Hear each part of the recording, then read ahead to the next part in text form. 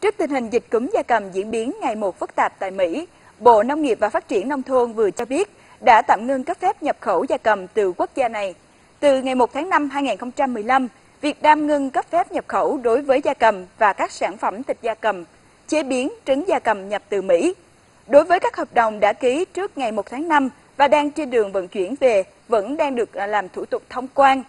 nhưng sẽ chịu sự kiểm tra về dịch bệnh gắt gao hơn trước.